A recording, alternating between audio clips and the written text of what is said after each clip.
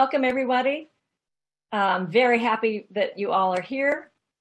Uh, my name is Leslie Wade and I am a volunteer director of the North American Fruit Explorers.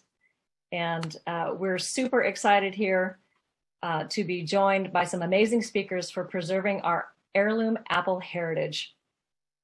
So before I introduce today's panel, I would like to share a few housekeeping items and a little about NAFEX as we allow a few more people to join.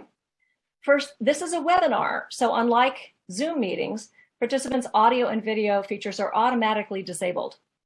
But we encourage you to ask questions. If you see below you at the bottom of your screen, there should be a Q&A button. Sometimes in meetings, we use the chat feature. In this webinar, we'll be using the Q&A button.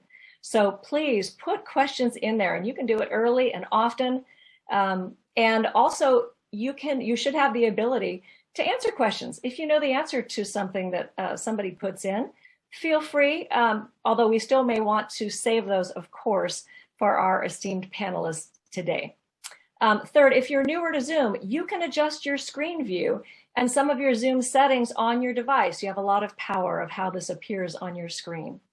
And finally, this webinar is being recorded and will be made available to members and conference participants at nafex.org. So just a few words about NAFEX. Founded in 1967, the North American Fruit Explorers is a network of individuals throughout the United States and Canada devoted to the discovery, cultivation, and appreciation of superior varieties of fruits and nuts. Although the ranks of our membership include professional pomologists, nursery owners, commercial orchardists, NAFEX members are all amateurs in the fruits in the truest sense of the word, and we're all motivated by our love of fine fruit. NAFEX members share ideas, information, experiences and fruit propagating material via our website, our social media channels, our fruit specific interest group meetings, and annual conferences like this one, whether they're in person, online, or both. As a paid NAFEX member, you get four editions of the Pomona Journal each year, as well as the ability to search 50 years of Pomonas in our digital library. They've been scanned and you can search them for content, which is just an amazing resource. The organization exists because of fruit growing members like you, and we encourage you to continue your membership and to become actively involved as an interest group member, committee member, or board member. So please visit our website to learn more at nafex.org. So now it's my pleasure to introduce our panel members. Today we're joined by Tom Brown, apple hunter and owner of applesearch.org, Joanie Cooper of the Temperate Orchard Conservancy, and Harry Burton of Apple Luscious Organic Orchard and the famed Salt Spring Island Apple Festival. So without further delay, it's my pleasure to introduce Tom Brown, and Tom, I'm going to invite you to share your screen.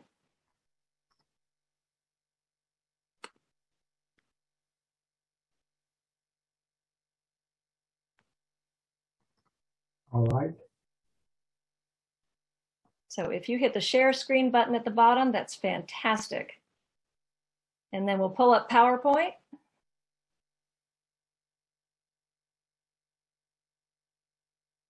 Listen. There you go. Fantastic. Take it away. All right. Uh, thank you for allowing me this opportunity. I'm Tom Brown, and join me for an apple discovery trip. Here I'm showing my wife, Mary Kay, a great helper, some apples I found. I'm holding a Gloria Monday apple. In front of me, left to right, are winter sweet russet, a green bellflower, a white vandiver, a big horse, black beauty, white bellflower, and deep eye. In 1905, the U.S. Department of Agriculture identified 7,000 apple varieties which were in the U.S. Actually, there are many more. Here are the few of the apples I found.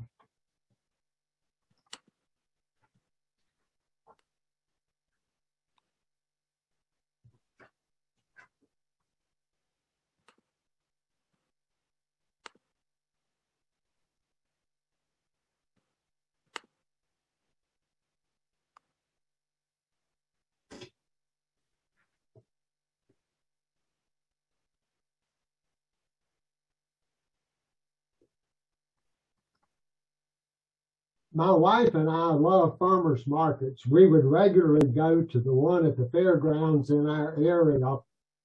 Maurice Marshall there was selling heritage apples. I was fascinated by all the names, colors, and taste. He told me about a lost apple which had been in my area, Harper seedling. I started looking for it informally with no success.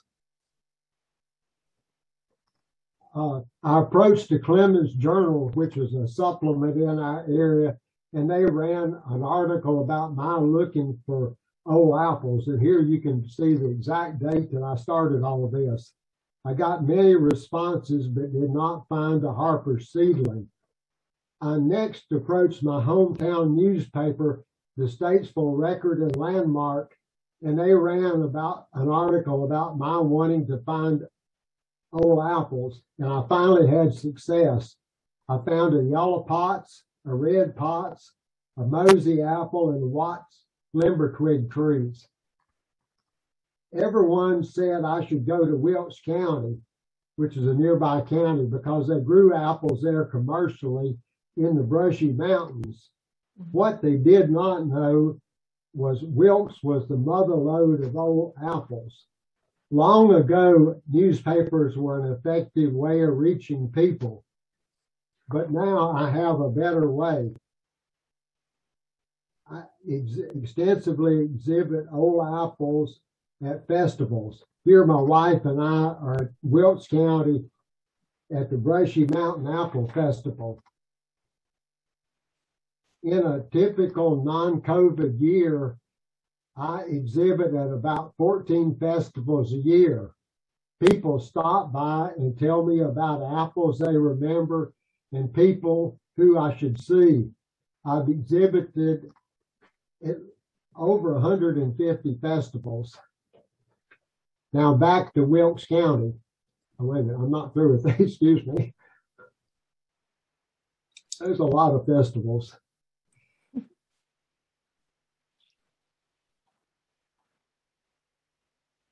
Okay. On this county map, you'll see the one that's uh, sort of shaded in white, Yadkin County.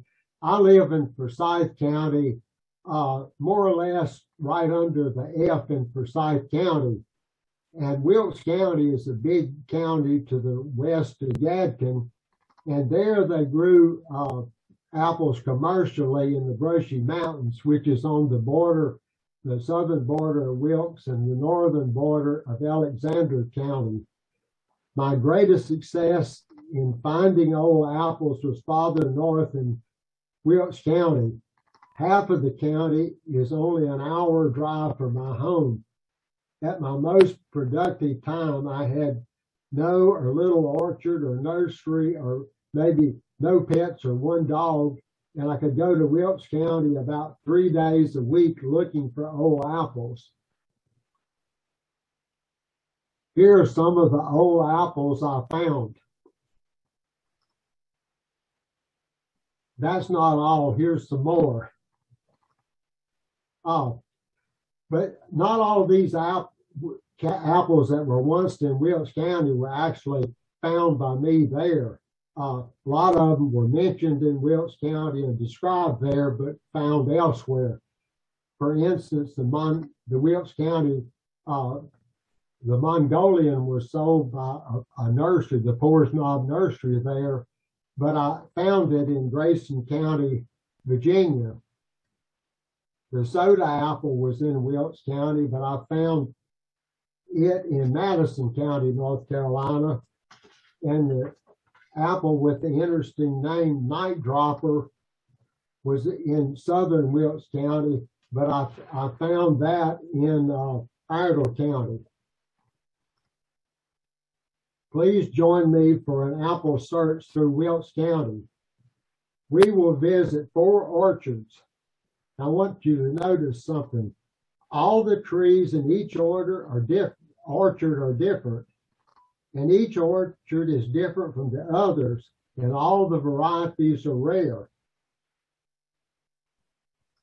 And looking across this bottom land, there's a row of apple trees before you start climbing up the hill beyond. Uh,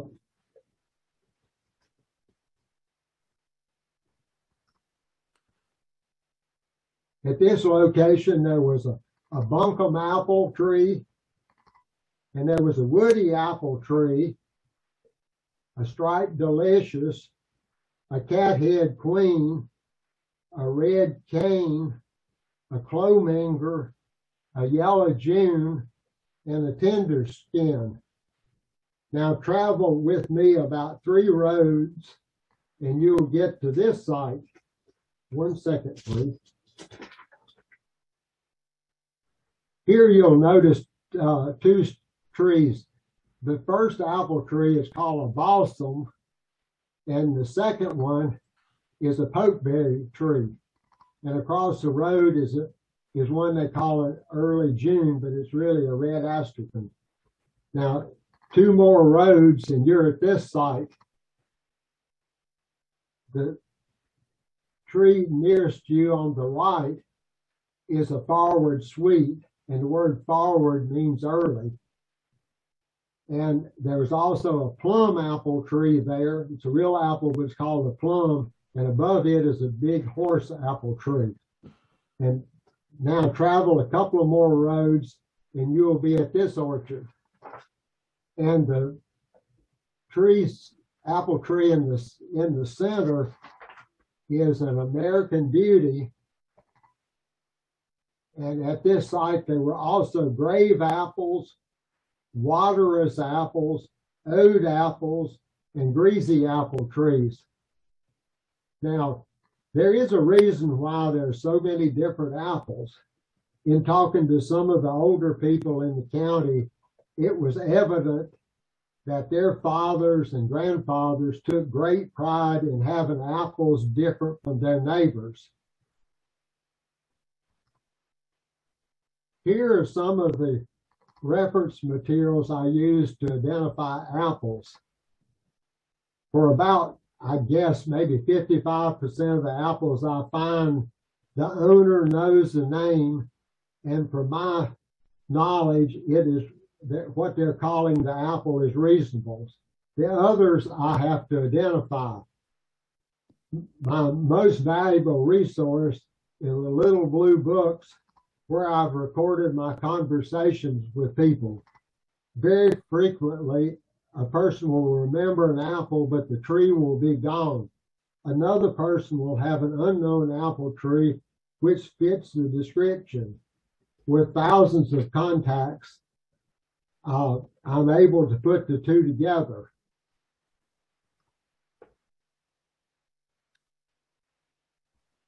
In uh, Macon County, now this is a story about how I do put the two together in Macon County, two men separately told me about a Manson Beauty apple they remembered.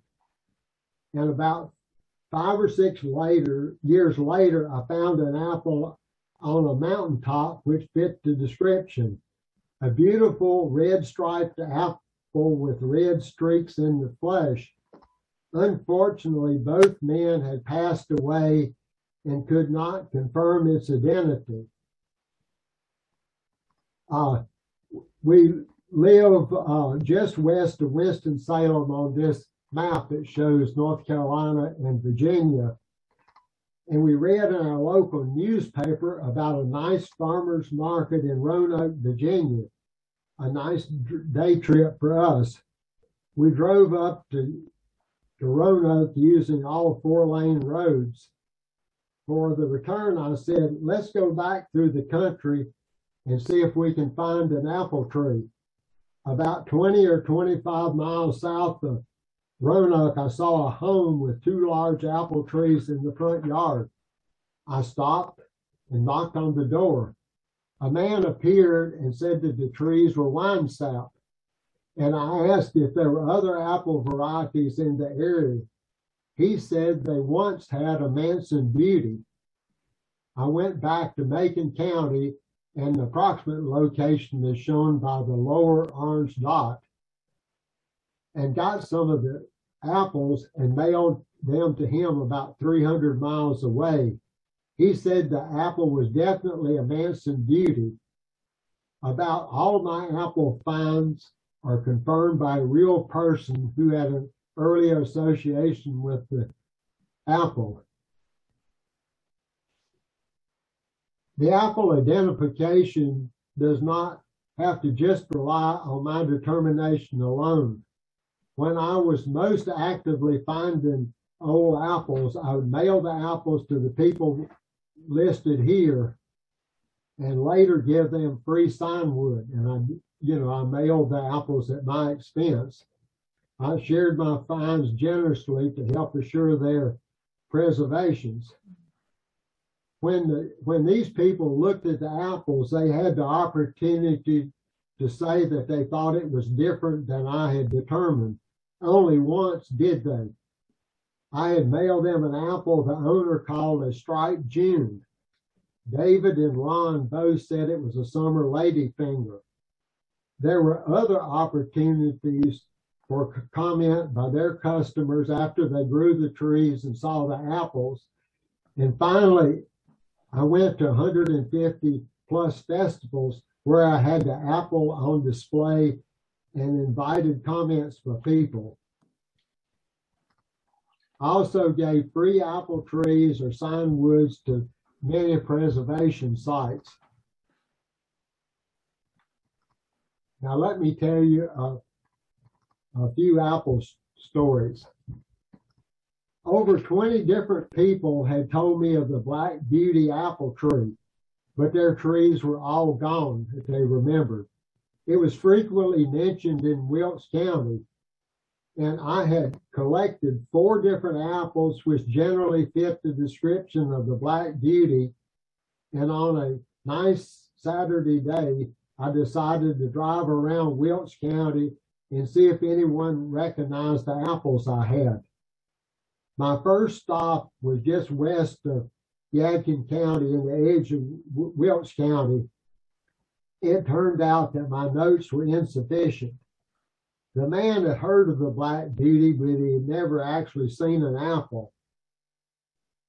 Uh, when I was getting ready to leave, he said a foreman from a nearby farm brought me some apples and they're out there on the washing machine. Why don't you try to see what they are? They also fit the description of the Black Beauty.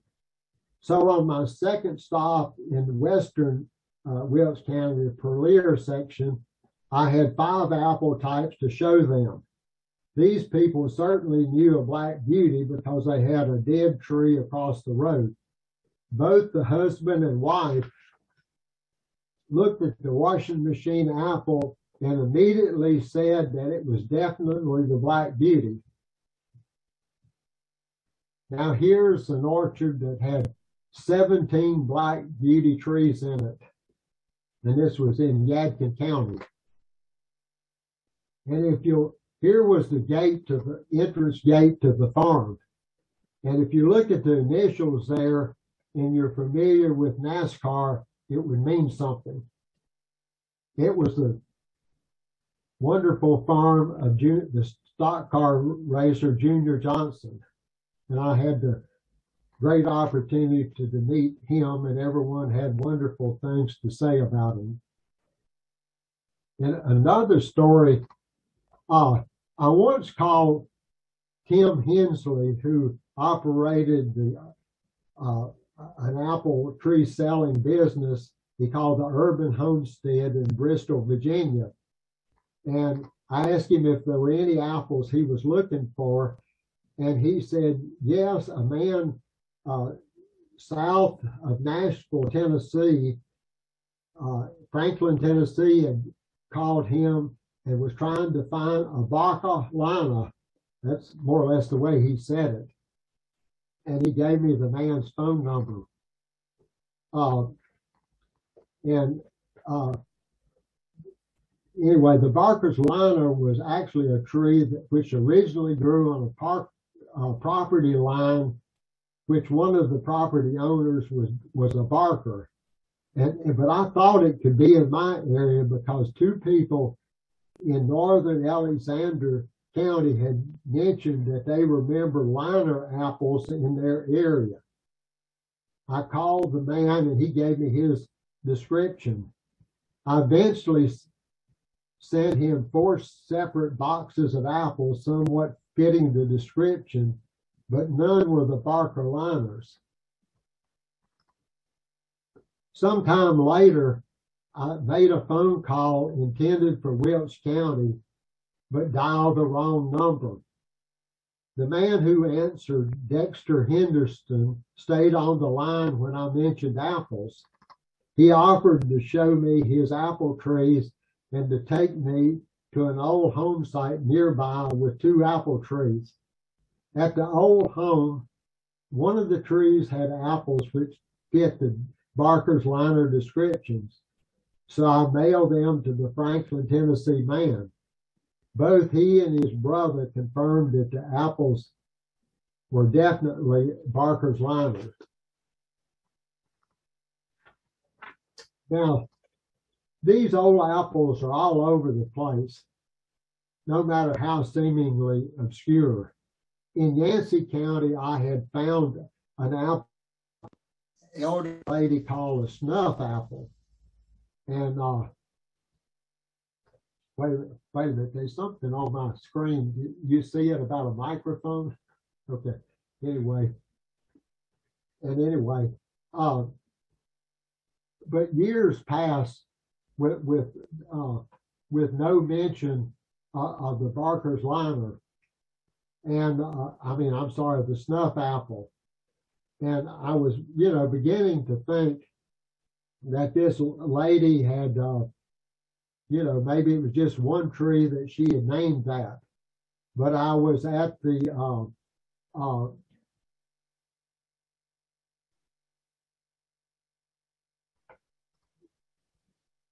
That's perfect, Tom. You're doing great.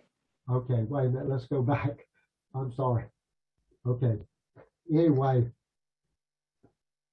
but I, I was at uh, one of the festivals I've gone to numerous times was uh, in Richwood, West Virginia. They have a, a spring ramp festival up there, and one of my apples one year was the snuff apple.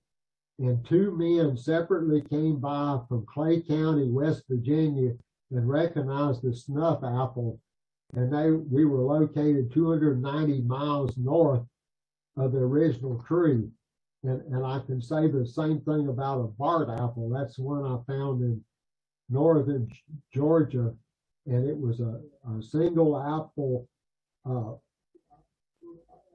tip uh, limb apple, and uh, or well, one apple grafted just on a just as part of a single limb, and it was in an area where uh, people by the name of last name of Speed knew about the Bart apple, but then years and years passed by, not, not a single mention of Bart apples. And then in a three year period, four different people contacted me from north central Tennessee inquiring about a Bart apple they uh, remembered. And, uh, and one more was a strawberry roan. Only two people closely associated in Wilkes County knew about that one. One person had a tree.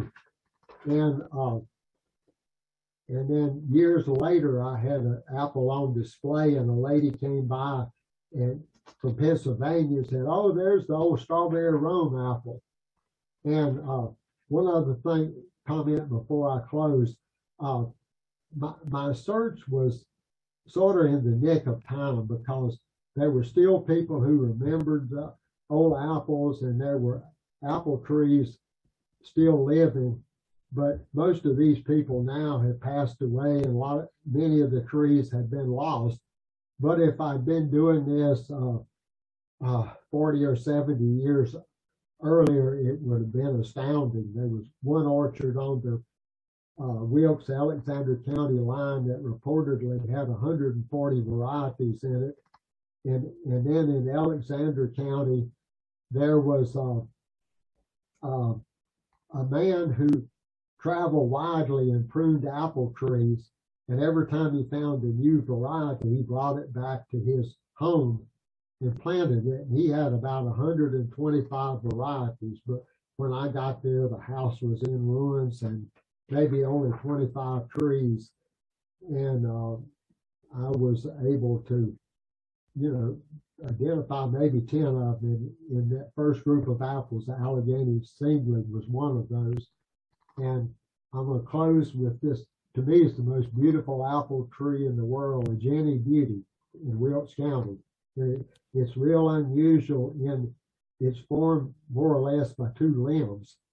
The uh, limb on the right, it goes out to the right a little bit and then turns and forms the left half of the tree.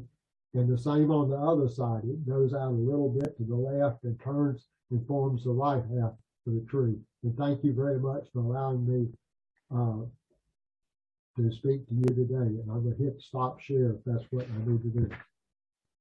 That's perfect.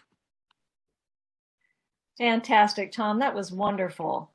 Thank you so much for sharing that. And I realized that um, with my enthusiasm as I was introducing you that I forgot to read your bio, but I want to give a shout out to your website, applesearch.org, um, where I think, Tom, you shared the story that was kind of covered in your bio, but um, Tom's got some amazing resources and newsletters that he's produced um, and information. And we've uploaded one of those documents into our conference Google Drive, which I hope you all access. Um, we'll hopefully have resources from most of our speakers there that you can download, including um, how to help him search for apples um, and also um, some other information from our other speakers today. So, um, so without further ado, uh, I'm going to introduce uh, Joanie.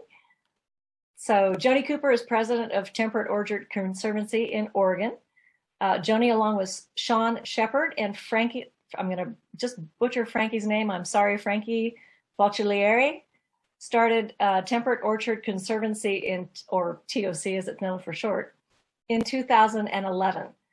Uh, they had been chasing lost apples for years, ultimately prompted by the late Nick Botner's concern that his significant apple collection would be lost they formed a nonprofit to preserve and to continue to search for lost and forgotten apple varieties. So with that, let's bring Joanie in and um, tell us what you're doing there at Temperate Orchard, Joni. Hi. Well, it's kind of a short and a long story. It's a lot different than uh, than Tom's. He's been doing it for a long time, but we also have been searching for lost apples for oh, I don't know, 25, 30 years. Um, we started, the three of us, started belonging to Home Orchard Society a long time ago. Uh, the point of Home Orchard Society was to teach people about growing apples, how to take care of them, how to do grafting, how to plant them in the yard, all that sort of thing. What really pushed our button was in the uh, fall of 2010 uh, the annual Home Orchard Society Fall Fruit Show, we were packed with people looking at the apples, tasting everything, getting all kinds of information and exciting about what we were doing, that sort of thing. Learning about growing trees in their own yard and how to take care of them. The ID apple table was lined up with people looking for, searching for answers for their unknown varieties, which is one of the things we do. One of our longtime Apple friends was Nick Botner, and he was there that day. And his conversation kind of lit the fuse or pushed the button for what we started with TOC. He started his conversation with me that day by saying, Joanie, you need to come down, move to Yoncalla, and take over my orchard. And of course, we both laughed but the reason it was prompted was because he had medical issues and he was truly concerned that his orchard, his conservation efforts would be lost. So that pushed our button. So we started in the spring of 2011, three of us, Frankie and Sean and myself, and uh, started a small nonprofit uh, called Temperate Orchard Conservancy. And we have been finding and saving and preserving these many old apple varieties since then. Um, For many long years, this has been a crazy project. We've explored countless abandoned orchards and uh, history parks and that sort of thing. Um, the old homesteads have kind of been absorbed by state and federal parks and actually have accidentally preserved some of these old orchards because they haven't been demol- demolished with housing or other things. There's exploring and fun things to find, that sort of thing.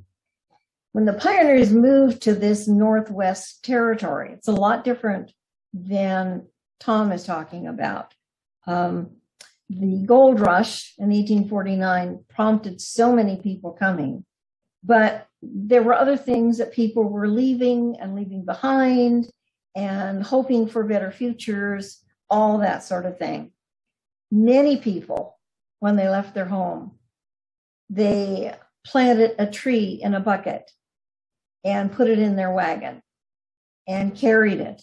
And that tree was planted at their new homestead because it reminded them of grandma. That was heritage, that sort of thing. In 1846, Henderson Luelling selected and grafted apples and pears and other trees.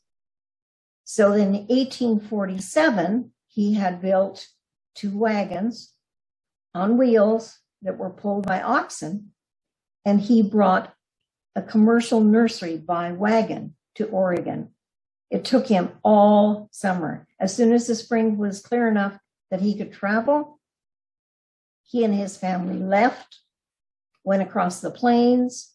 They were not able to stay with other wagon trains that were going because they weren't fast enough. So most of the time they ended up being by themselves. Um, they were often assisted by other people. They were also assisted by native families that saw them and helped them. It was an inspiration and it was a challenge, but they got there. They arrived in Oregon in November of 1847. And his nursery was the first to start in Oregon on the Willamette River, just down south of Portland. So it's his was a beginning, but it was only the uh, kind of the fuse that was lit because many orchards, many nurseries started because of the gold rush. There were so many people moving to this Pacific Northwest. By the late 1800s, agricultural stations had been established in the US, and many apple trees had been studied in Hungary and Russia, the Balkans, by researchers in the United States, and they brought science back. Those science had been shared across the country at various agricultural stations, including one in Washington. Those science, those trees were to be studied, and they were shared really quite well with the local communities, the local areas, the local people. That's one of the reasons some of them weren't lost. Five or six years ago, two guys I think they were infected by this apple disease that we all have, uh, got caught up in the uh, excitement of hunting for those lost apple trees. They have since then found willing trompers in the area to go out looking for these old homesteads which have been abandoned and uh, searching for any lost orchard, any lost old apple tree. And with that, many have been found, rediscovered. Um, they do the researching on the property. They find out when the people were there, uh, when the homestead was started. So they have a really good handle on when the trees were planted. They know how old they were, and it, it goes a complete circle. So it's easier to find them.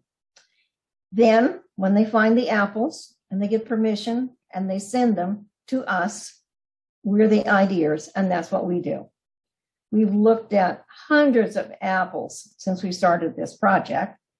Um, our list of varieties that have been uh, identified, lost and identified, I think is 51 right now. Without some history on the property and some uh, information, it's difficult to um, put a date on it. Uh, so it's really important when someone's sending us an apple that we have some information instead of just an apple showing up in our hand. But it's fun and exciting, and it's what we do. Um, one of the ones that uh, is not very common, but is seen around here, is Sinap. That's a very old apple that was sent in in the Russian collection and for some reason has been preserved in just a few orchards. But one of the ones that is probably a cousin or another name for one similar to it that we've identified is called Sari Sinap. So this is fun. This is the fun stuff that we do. Um, we've identified one that was growing in Hungary. Its name is Mahalafi. Uh, Frankie posted a picture on our Facebook of Sean tasting and identifying this terrific apple. We got an immediate response from a lady who grew up in Hungary, saw the apple, remembers the apple, and remembers the taste of the apple, and of course its name. She was in tears, and so was I. So it's really exciting to be part of what somebody else needs on this. There aren't a lot of us left across the country that are involved in this saving of these old varieties we think it's really important. Um, we have about 4,000 varieties in our collection, and we keep adding to it and adding to it and trying to preserve. TOC is a very small nonprofit. We're all vol- volunteer, not paid. There's no money coming in. So everything we rely upon are donations and help from outsiders. Um, this is this is the reason we're here. Um, we feel it's important. Um, to save these varieties is important because our climate is changing. We need to be able to grow a vast amount of different cultivars to be sure that they survive, to be sure that they can withstand all the climate changing that's happening right now. That's one of the things that we do. And that's our job. That's it, Leslie. Fantastic, Joanie. Thank you. That was wonderful. I know I have some questions. Um, I just jotted down three or four while Joanie was talking, and uh, please uh, put them in the Q and A. I know that Tim is is uh, queuing those up for our sharing after we hear from Harry. So um, feel free to put those in the Q and A, and we'll get to those in just a bit. That sounds so now I'd, I'd like to introduce our final speaker. So that is Harry Burton. And Harry grew up in Northern Ontario in Zone 3, where apples would not grow. In 1980, he discovered Salt Spring Island off the coast of Vancouver Island in British Columbia, which is Zone 8, very different for apple growing. So Apple Luscious Organic Orchard was born. Harry's certified organic orchard grows about 210 apple varieties, including about 60 varieties of red fleshed apples on Bud 118 rootstock. So using larger trees, he can require, they require no summer irrigation. He also runs the famous Salt Spring Apple Festival, now in its 21st year, where they displayed 420 apple varieties in 2019. So Harry, thank you so much for being here. Let's get your presentation going on our end. And uh, I understand you have a fun video of the late Nick Botner for us at the end. So we hear a lot about Nick. It'll be nice to actually see him yes. on camera. That'll be fantastic. So thank you, uh, Leslie. Thank you, and thanks to this incredible team at NAFEX for all the help in getting this thing rolling. Uh, just a slight note of interest, uh, weather-wise, we had no rain all summer, and just the last 24 hours, we've had 2.5 inches of rain. We've got roads washed out. I've got no phone. Fortunately, my internet works. So, anyway, we're dealing with that right now. Anyway, um, I'm delighted to be in the company of such great fruit growers like Joanie and Tom and all the rest of you out there. It's just amazing. And I have to say, you are all certifiably crazy but that's what makes you so great. And that's what keeps you doing all this great stuff for no money. Um, Now, one of the terms that I think is very important for us, it was a term that Nelson Mandela came up with, and he he brought out the term from South Africa called Ubuntu. And basically, Ubuntu means I am better because of you. And that's true of this fruit business even more because all of us together connecting is such a strong team. It's amazing. So NAFEX is doing a great part of that to keep us together. So I'd like to make a toast right now, and I'd like to toast number one, Mother Nature, who is doing all the work. I do a little bit of work out in the orchard. She is working 24 hours a day. And she has created incredible varieties. Even the Canadian variety Ambrosia was a chance seedling. She created the whole thing. Secondly, I'd like to toast all the people growing great fruit of all different types.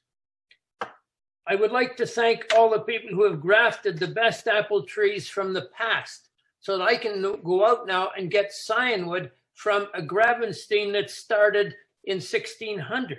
So, in other words, people have kept that going and allowed us to leapfrog through time. And I'd like to toast all those people, such as Joanie and Tom, that have taken an oath of poverty in order to keep your farm and orchard going. Okay, a little bit about Salt Spring Island. We're a small Gulf island, about 80 square miles between Vancouver and Victoria. So we were in a protected area, protected by Vancouver Island. We're the same island chain as the San Juans in the United States. They just ran the border through the middle of us. We have about 11,000 people living here, and that sort of doubles in the summer because of tourism. Our apple history started about 1860, and up until 1920, we supplied all the apples for British Columbia. And at 1920, the Okanagan took over. We have a very moderate climate. We're about zone eight, but moderate. I can hear the foghorns of the boats going by here, especially the BC ferries, if there's fog out there. Uh, we have a minimum temperature of about minus four Celsius, which is 25 Fahrenheit. Might get a few weeks of snow. We have a maximum temperature of about 25 Celsius, which is about 75 Fahrenheit. And you need a greenhouse to grow tomatoes in the summertime. Um, the cool evenings, though, are very valuable because that means we get a lovely dew all over our, our leaves and every surface in the morning. And to me, we have the ideal climate to grow red flesh apples because in talking to Freddie Menge from Santa Cruz, he sells red flesh apples, lots of varieties, into the fancy restaurants in the Carmel Valley. But a super hot summer will wash the red color out of those. So red colors is harder in the really hot, hot climates. Um, in the early days of Salt Spring, we had fruit trees outnumbering uh, citizens by 10 to 1. So that was quite amazing. And I want to show you something here. This is an apple bowl. This is a 13 and a half inch apple bowl that came from a dead apple tree, 13 and a half inches. And that shows you the size of the apple tree that that must have came from. okay, Apple Luscious Organic Orchard. We're certified, as Leslie mentioned. That costs about $550 a year. We're only 2.5 acres, but that's enough work for me. Uh, we have about 320 trees on the Bud 118 rootstock, which is a beautiful big rootstock, but again, doesn't need water in all those dry summers. I do also Bud 118 interstem to make a dwarf, and I use those around my garden so the trees around my garden are not shading the garden. We grow about 210 tasty apples, 60 red flesh, and uh, critter problems that we have. We have rabbits here. We didn't used to, but we have them now. So every tree, especially the young ones, has to get fenced with a one inch mesh. I was using one and a half inch before, and little rabbits go right through that. Uh, we have deer, so we have to fence the perimeter of the property. And my chickens roam the whole orchard. And the fencing I use around the trees just keeps the chickens from scratching away the mulch. They would never hurt the trees. Um, we are also lucky that we don't have any bears because bears can be a real hazard. We are lucky. So I'd like to go to the PowerPoint now. Thank you, Taylor. Okay, champions of diversity. Next. I think it's very important for an orchard to state how they grow fruit. And that is my taste guarantee, which you can give to people and they can they can see how you're doing. So just I'll just read the headings here. Organic, taste, diversity, red flesh, non-irrigated, dew sweetened, nutrient dense foods, and mulches. And uh, just one minor wrinkle to make sure you understand. I do irrigate new trees for about the first five years. Next. Uh, this is a variety called Pink Delight, and it's one of the amazing varieties. And it tends to get, when it's ripe on the tree, a beautiful wax just like the king apple, and they shine just like Christmas tree bulbs. Next. This is one I just got. I got it from a source over in Turkey, Bioactive or Aroma Best. It's also a great apple. Next. And again, the color variation is just amazing in this slide of apples being dehydrated. Next. Uh, this is a grenadine apple making a pie. The chefs cannot get enough of these red flesh. Number one, they're very tasty. The red color is full of antioxidants. They're very healthy and they bake up red or pink. So they are just lovely. Next. Um, talking about my heroes, my champions of diversity. My personal hero is Albert Etter, who was farming up out of Garberville in a remote valley in the 1930s and 40s. And he created about 30 red flesh varieties. Um, unfortunately, for the time, CNC Nursery took a lot of those scionwoods, but they only really got one to sell for their catalog, and that was Pink Pearl. Um, fortunately, we had somebody called Ram Fishman who just passed away in the last six months or so. He went up there in the 70s and 80s and he discovered as many as he could find. And so we do have quite a few of the Albert Etter varieties. Next. Uh, Fred Jansen was another NAFEX. He was one of the founders of NAFEX. And uh, he had a farm just out of Hamilton, Ontario. He was the first one I ever met to grow many varieties and obscure varieties. And he used geese, as you see here in his orchard, for number one, weeds, number two, for uh, protection or an alarm, because they would they would uh, honk whenever somebody came around. And I was mentioning earlier that you NAFEX people might be interested. He was the founder, and the first NAFEX uh, magazines were sent by mail to each customer. So Tom, uh, Fred would send it to the next person who would add something if they wanted. It would get sent along to the next person. That's how it would get around. So it might take in a couple months for this NAFEX magazine to circulate. Next. My old friend Nick Botner, who just passed away in 2020, he was a dynamo, and we all benefited from having Nick around. Next. Uh, the Salt Spring Apple Festival.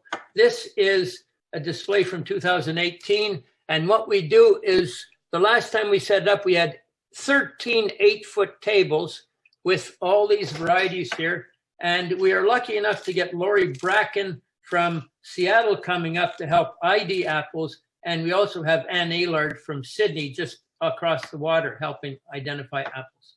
Next.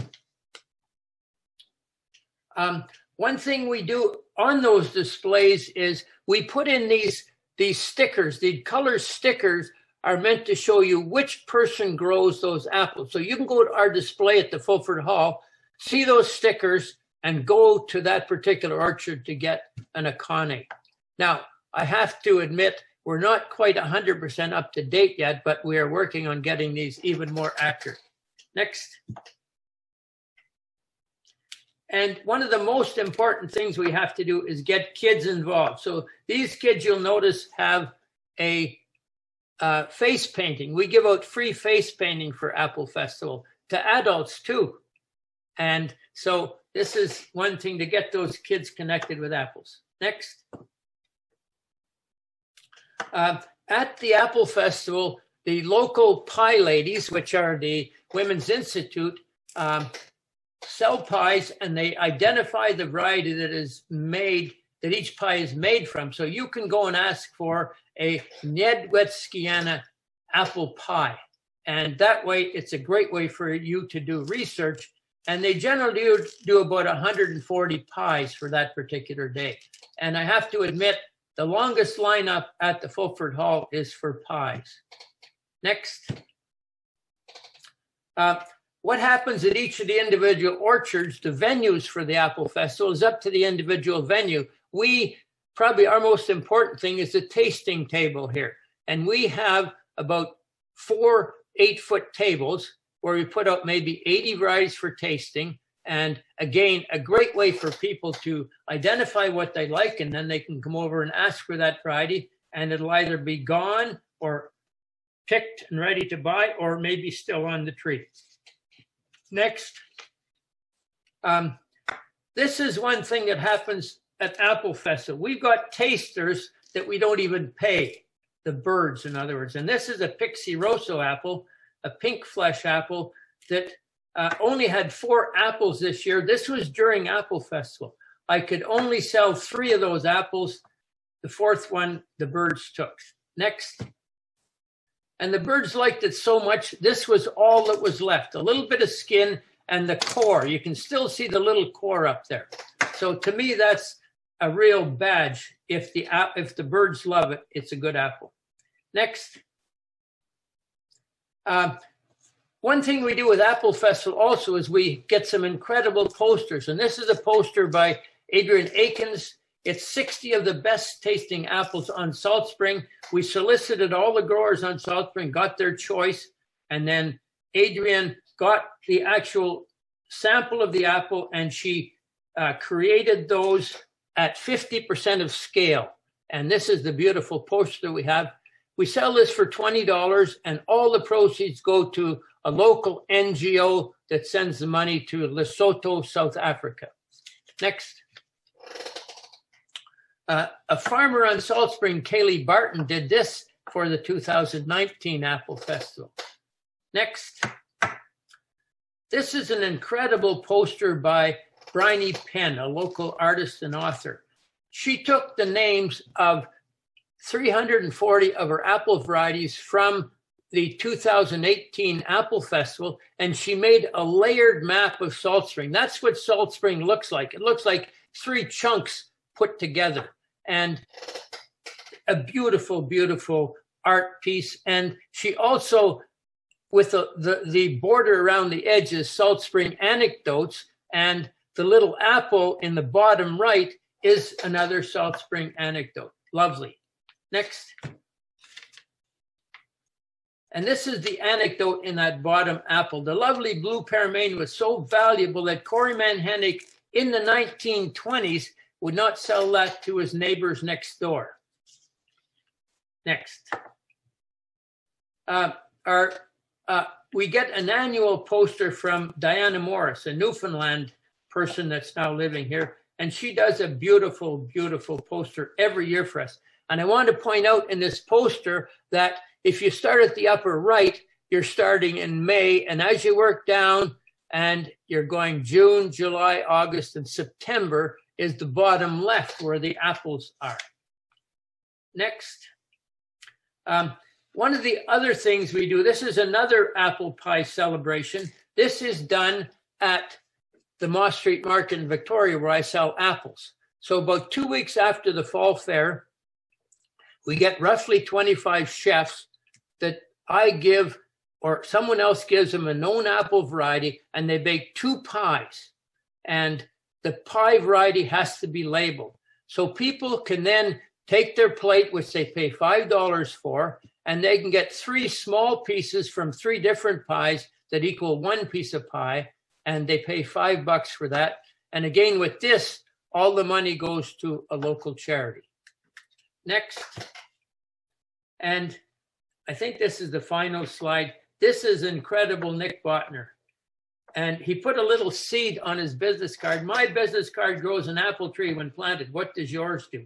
With his phone number. Next, I think that's the end. That's the end. Okay, so I'm going to talk a little bit about champions of diversity. First of all, Mother Nature, I was mentioning earlier, she created so many apple varieties that had no help from anybody.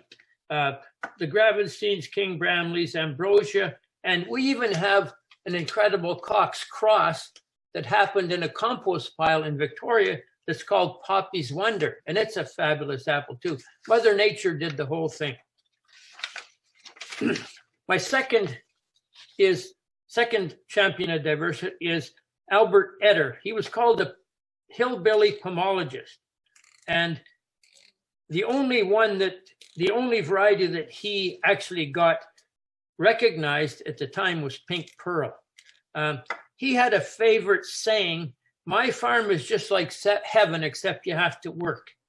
And an interesting anecdote now I have a 99 year old friend on Salt Spring who's still the most vital and incredible brain that you ever met. She met Albert Etter in 19 uh, uh in 1937 when she was four, 14 years old. Her and a girlfriend were up fishing with the father, and they walked up this little road, and somebody called him into the orchard to show his tree. And she saw the Albert Etter tree, which had 50 varieties growing on it. That was one of his uh, specialties. Okay, Albert Etter used the surprise apple for breeding. And what I've got right here is an amazing book. This is the Downing book from 1856. And this was in the uh, attic of an 1872 uh, farm on Salt Spring Island, the Ruckle Farm. And I was given this by the great, the, the granddaughter of the creator of that farm in 1870. This is the Downing book that lists all apple varieties from that year. And it does talk about the surprise apple in here, but it doesn't say very good things about it of little or no value, but admired by some for its singularity, its red flesh. Well, Albert Etter was enough of an independent thinker that he said, I can grow that better in Ettersburg. And he did. And he used that as the main breeding source for his apples. Now, he also used very amazing different crosses, like lots of crabs, but yet he gained incredible results from that. And as I say, we have quite a few varieties out now because people went and looked for them in the 70s and found red flesh, and then uh, they tended to, uh, uh, especially Ram Fishman, tended to get those going, and Ram was even selling them. Um, so that was Albert Etter. The third one I mentioned was Fred Jansen, founder of Nafex, and uh, he had an amazing orchard and he died about probably 20 years ago now. And unfortunately, his orchard just got bulldozed, which is what we want to prevent from happening. But anyway, those things happen. Okay, the fourth one and the last one I'm going to mention is Nick Botner, who I was lucky to meet. I had his list of scionwood. I never met the guy. I drove up his driveway probably 15 years ago and end up staying for three days and helping him out. So that was just how Nick and Carla operated. Uh, he was in the Battle of the Bulge. He also was a homesteader in Alaska, and he had the largest private collection of apples in North America.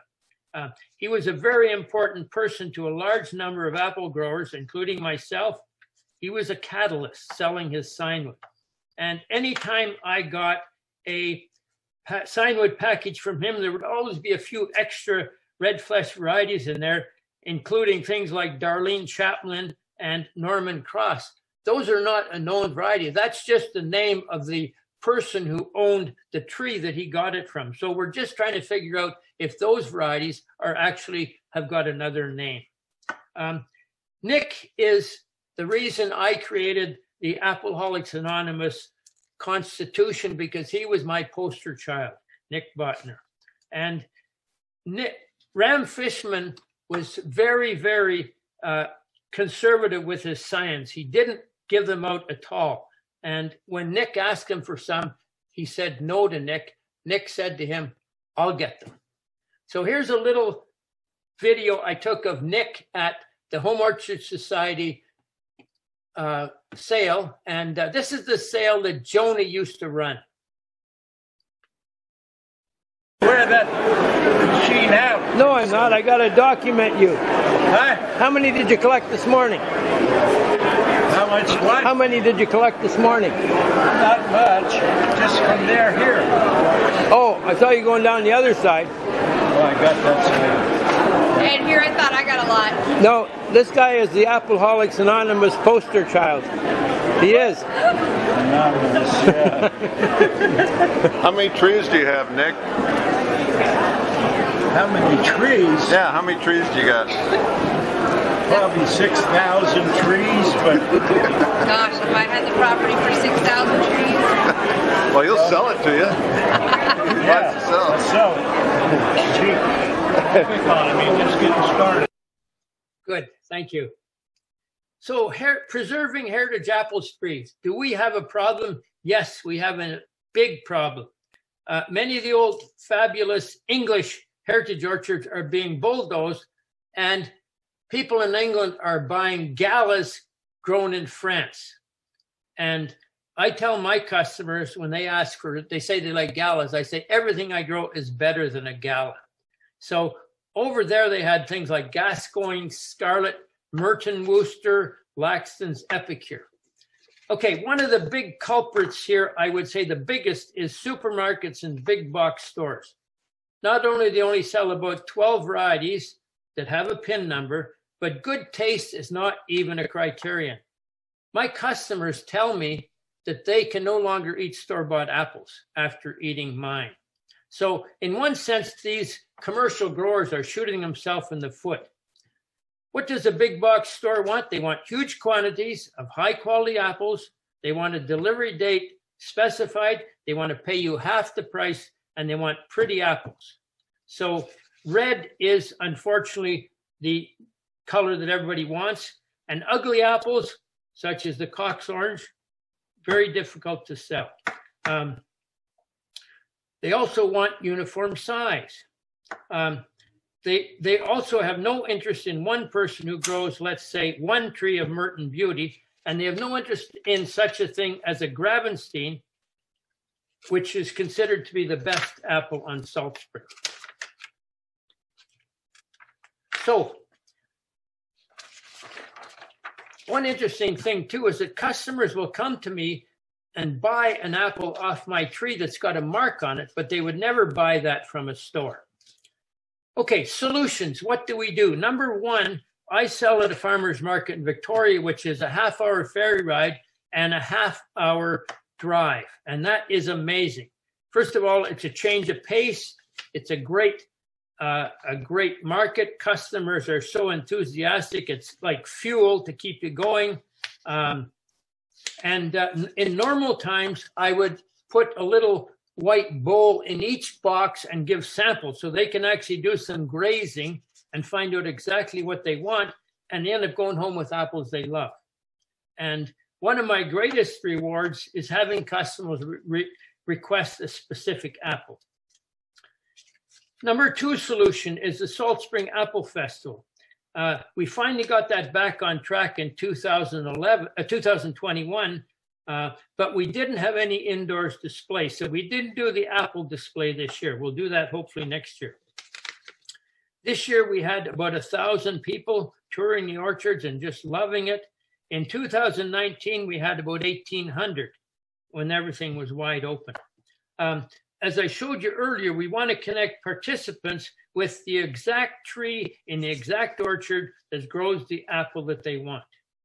Um, I have seen an older woman on a walker bound up two stairs when I indicate I had the Gravenstein apples that she grew up with, and she wanted to get them. And we always make a point of trying to get the kids involved. Okay, solution number three. At the Salt Spring Fall Fair, which is always two weeks before the Apple Festival, if you're familiar with fairs, they want five identical apples of a known variety that conform to the description of that variety. Frustrating. I don't put anything into those categories. We created two new categories. We created the sweetest apple category, which people submit to, and we have a refractometer here, which I use to measure percent sugar. And we hand out a ribbon, a first place ribbon to the apple with the highest sugar. And the one I really love is the People's Choice. Uh, anybody on Salt Spring can submit maybe eight of their favorite apples into the fair, and then we get we just hand out slips of paper on Sunday morning to people walking by and say, "Taste all these and give us your first, second, and third. And we collate those, and that becomes our uh, our the winning prize. Um, Harry, I know, um, I know you've got one more video that you wanted to share. It's only about a minute, but I want to make sure that we leave some time for the Q and A. okay, On the back I'll just say I'll just say one more thing, and we'll forget about that video. Okay, Okay. Um, I'm going to talk. The fifth solution is growing red flesh apples, which just amaze people when they bite into them. The chefs can't get enough of them. And there's two styles of red flesh, I believe. The Etter style, which has leaves that are green and wood that is white. And they're, to me, there are sort of the sweeter apples. And then we have the Hansen type, which I call it, which has red wood and red tips on the leaves and they tend to be a little bit tartar, and some of them are a little bit earlier. And Albert Etter said, My apples will be served in the finest restaurants in San Francisco. Now, he wasn't quite right at that time, but he sure is right now. He was my hero. Okay, that's enough. that was fantastic. Thank you so much. Um, that was wonderful. So I have seen the the Q and A just popping, and I am super excited to shift over there. So if our host Taylor would bring uh, Tim online, um, that would be great. And switch us into gallery view. We will, um, and Joanie as well. Fantastic. Um, and I can help by unmuting. There we go. Wonderful. So um, I'd like to ask one question before we go to the questions that you've got for us, Tim. Um, and that is um, about how if if people are interested in perpetuating the um, these various cultivars and um, seedlings that you have what are some of the sources where they can go to get that? I know for example Joanie that folks can order through your website. You have a list that you post there. In fact i've put that into the google documents section for the conference. Um, that list as of 2019 or 2020 i can't remember what's currently on the website and your apple order form.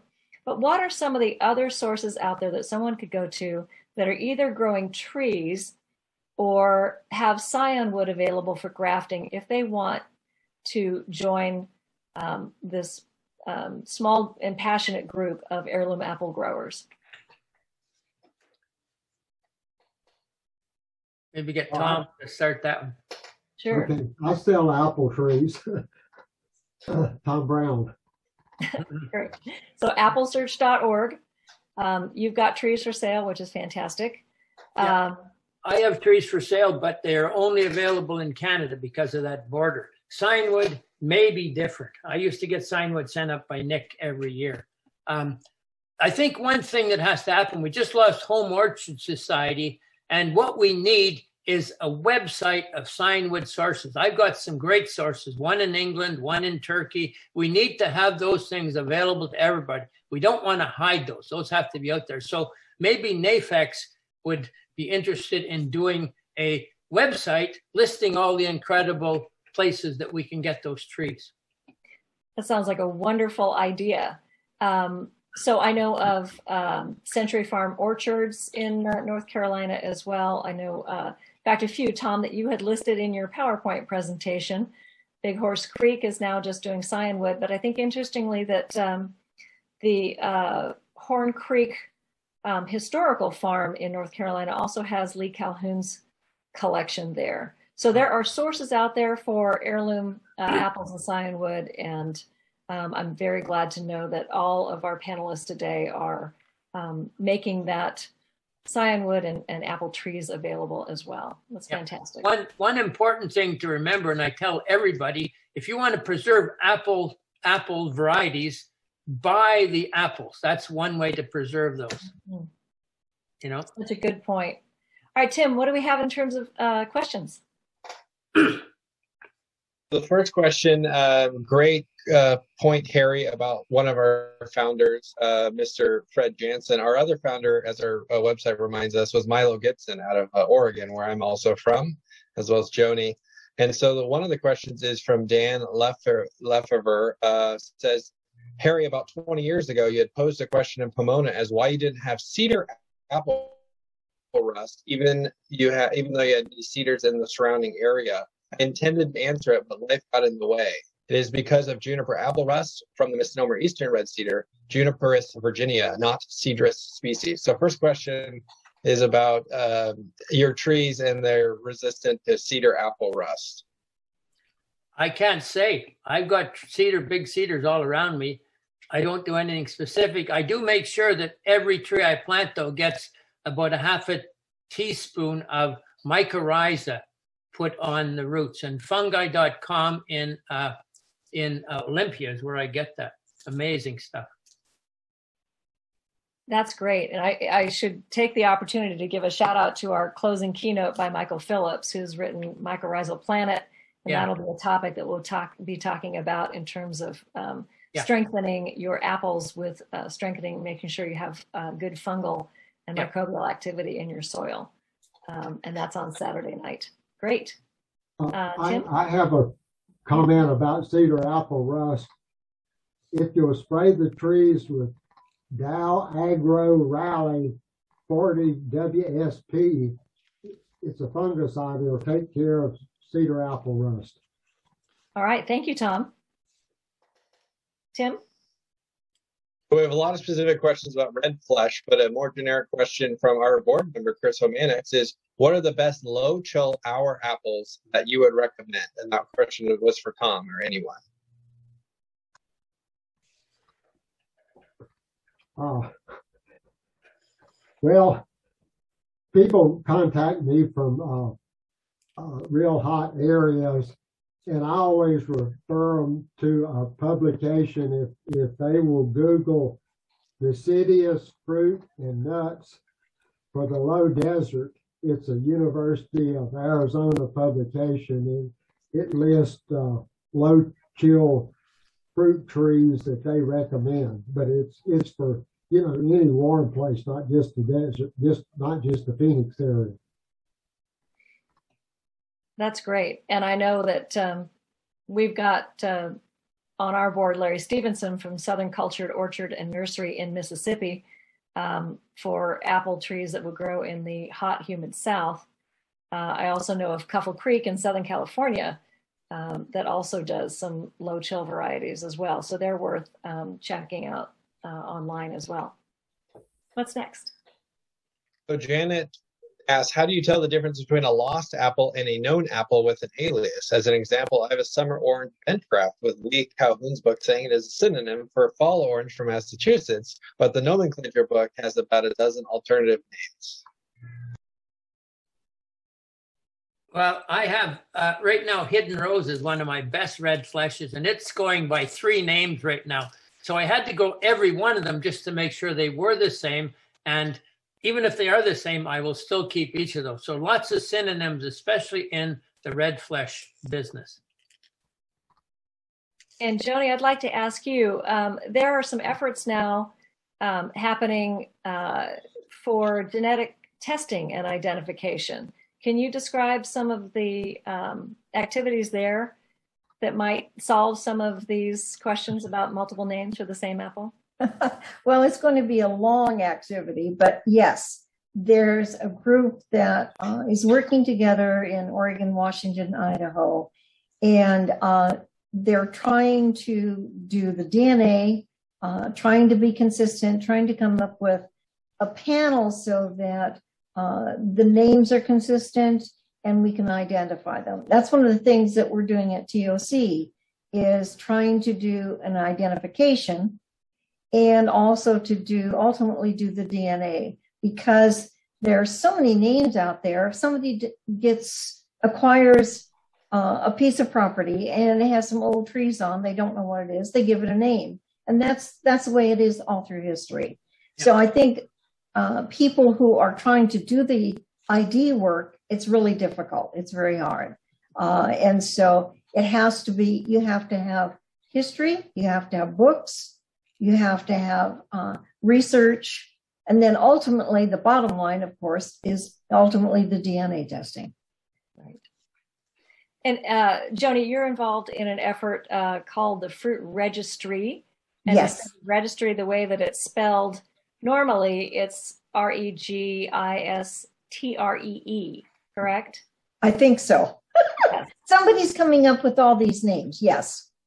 Yeah but that idea is to be able to put that information online and and put together an online database. So there there are efforts being made across the country to to create um, shareable databases of this information. Is that correct? That's correct. That's correct. It's starting out small but it's it's growing because we are in we want to invite people who have a collection who have doesn't even have to be a big orchard so that they can submit their information, what their tree is, age, all that resource and everything. So it goes on that database. So we have a collection clear across the country. They're doing the same thing in Europe. Uh, and so uh, this is kind of small starting out, but it's going to be a big project. And we want everybody to participate. Everybody who has their apple collection or their cherry collection or their pear collection it's not just apples, it's all the fruit because it's so important that we don't lose it. Excellent. That's wonderful. And I'd be remiss if I didn't give a shout out that one of the great resources was some of the documented descriptions of apples that was only recently published a few years ago is Dan Bussey's book, which is the um, illustrated history of apples in the United States and Canada and it is a seven volume masterwork that is now amazingly for sale for at this moment um, $150 for that entire set and um, yeah. that is definitely a get them while they last because if you're a member of alcoholics or excuse me of uh, alcoholics anonymous um, it's a terrific resource we use amazing. it all the time all yeah. the time it's fantastic and dan is working he's working on expanding it. I think he's just like yeah, he's just like us. He's crazy. Yes, yeah. yes, but it's a wonderful source. And Dan's on our panel on Friday night, which is great. Wow. Tim, you want to yeah. give us another question? Yeah, so lots of red flesh uh, apple questions, but please comment right now if we have a few more openings. Question for Harry from Janet: When did uh, who did when did you first grow red flesh apples, and which were the first one? Do you have a list of all of the red flesh apples? The California Nursery Company introduced the pink pearl in 1944 and sold them until 1970. When did red flesh apples become popular? And who besides Ram Fishman introduced them? From Janet. Um, wow. Wow. Yes, I have a list of everyone I've got hovering in around 60 and uh, just being tested because I have what's called the five year itch, meaning that I've got some trees that have not produced yet. That Pixie Rosso I showed you, I ate it this year for the first time. So it takes five years before you figure out is it the right name? And then when you get it and it is the right name, is it any good? Um, yeah. Um, that. Did I miss a part there? That was a multiple layered question. it was. um, while I'm thinking about it, uh, I want to give a shout out to to Derek Mills, who is our yes. Apple Interest Group chair, Beautiful. and he also has an amazing collection uh, yes. in the Midwest and sells apples there. So um, probably the biggest collection in North America, I think, right now. Yeah and pretty significant uh, collection of the red flesh apples yep. as well. And selling cyanide.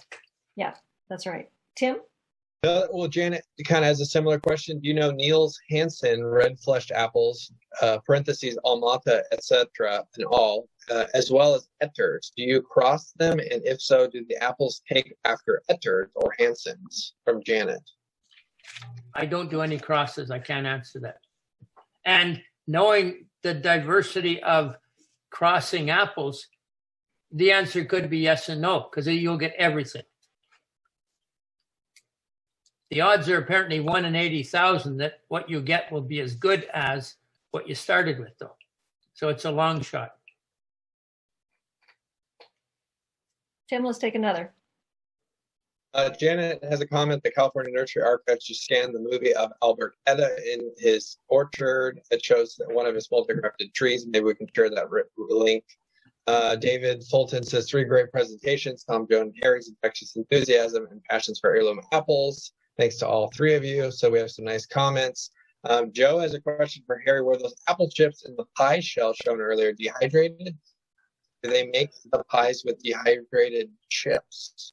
No, no, those were actually fresh grenadines. Great. I have a, a question here and or a, a, comment too. Every so often, especially in our, our uh, North American Fruit Explorers Facebook group, uh, uh, Facebook group, which is a wonderful place to ask questions. We see the story about Tom um, circling around at you know with a display of apples in front of him, and everybody you know gets all excited and um, and, and wants to talk with Tom, but there's only one Tom, and uh, so I think um, in terms of reaching out and because um, you probably all have this happen where folks want you to help identify an apple for them but I'm sure you don't all have the time to do that. So I want to put in a plug for um, our Facebook group and other forums as well online. There are other fruit, you know, and apple growing groups are great places to throw that out there and ask a question because goodness knows I suspect y'all don't have the time uh, to uh, identify individual apples, uh, although I know you want help in that continued quest to discover them. Is that correct, Tom? Well, I usually get up at 4:30 every morning to answer emails, so oh my I, God. I try my best to answer every one. And in the last uh, two years, I've gotten approximately 4,000 new inquiries, and you know a lot of these are multiple emails, and I've answered them all except there was one period they were coming in like a hundred a day, so I had to maybe for three hundred I had to put them on an out of office answer. But other than that, I, you know, try to give them a respectful answer and help them. Well, that's terrific. We need to uh, to start wrapping up. Um, if let me ask the panelists: Is there anything that uh, that we haven't covered uh, that you would like to say before we close out? I would like to say one thing that I didn't say earlier. I would love to see someone do a website called Champions of Diversity. And there's no criterion to get into it, but we want everybody that's doing something like Tom and Lee Calhoun, who I never met, and all these other people to be in that website, just to give them a, a heads up. What a great idea. Thank you for that. And, and I'll add that it's been an honor to participate with you wonderful people in so, such a great amount of knowledge and enthusiasm. It's been a great honor. Well, thank you, Tom. And thank you all. Uh, on behalf of the North American Fruit Explorers, Explorers, I'd like to thank Tom, Joanie, and Harry for making this a great session. Uh, once again, the recording of the session will be made available on our nafex.org webpage uh, in 24 hours and posted in about a year, made public on our uh, YouTube channel, NAFEX TV. Um, folks can, uh, it's not too late for folks if you uh, tell a friend, they can certainly sign up and watch these for the next year on our site. So, what a treasure it's going to be to have 12 video sessions um, from this conference as a resource, even if folks couldn't make it in real time. So there uh, will be other downloadable content, as I said, on our webpage um, for the conference in our Google Drive. And uh, don't miss the other sessions that we have coming for the rest of the week through Saturday night, two sessions a day as part of our 2021 virtual conference, Fruit Forward Going, Growing for Tomorrow. And please stay connected on social media. I mentioned our Facebook group. Uh, we're also on Instagram and Twitter, and we have a Facebook fa- page you can follow as well. So you'll find all those links on our homepage. Again, Thank you, Leslie. panelists. Oh, thank you, Joanie. Um, it's been absolutely a delight to be in conversation with you all, and I love what you're doing. Um, I'm we're growing heirloom apples here in North Georgia as well, and it's because of all of your amazing work. So thank you to everybody for uh, attending, and um, we'll see you soon. Thank you. Thank you, Leslie, Thank and a great team you got there. Thank you. Yeah, good job. Thanks. Great job, board. Good night. Thank you.